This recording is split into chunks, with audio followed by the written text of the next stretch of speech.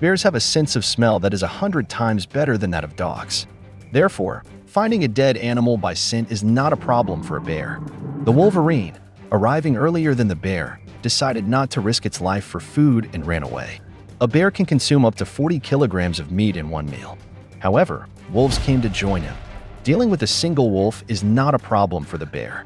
Therefore, the wolves wait until the entire pack gathers around the prey. Through growls, the wolves signal to the bear that they are claiming his food.